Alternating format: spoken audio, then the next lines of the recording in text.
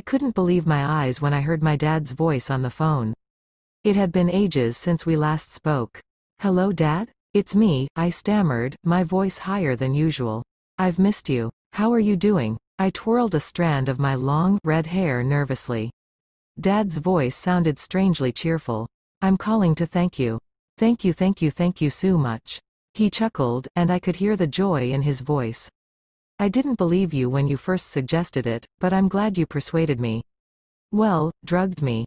I blushed, remembering the day he had convinced me to embark on this wild transformation.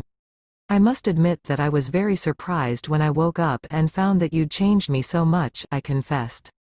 The breasts were the first thing I saw, and that was a shock. Then I saw the long red hair you'd arranged to have implanted into my bald head. My fingers traced the outline of my face, which had undergone extensive plastic surgery. The dental work, the plastic surgery on my face, the laser work to rid me of my body hair, I continued. Oh, when I woke up, I know I was calling you all the names under the sun, and I'm sorry. Dad's laughter was infectious, and I found myself giggling. Then when you insisted I put the peach bunny girl outfit on, I wasn't happy, I confessed. I wasn't a happy bunny. Dad's voice grew warm. But now I see why you had me do it, he said.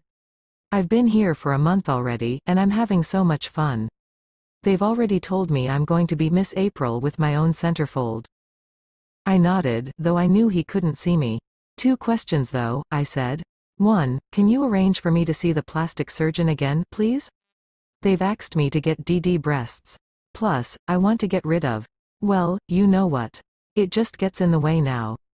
There was a pause on the other end, then Dad cleared his throat. And two, he began, hesitating slightly. They've asked if you can help out this weekend. It'll be the first time they'll have a father, son at the mansion as bunny girls.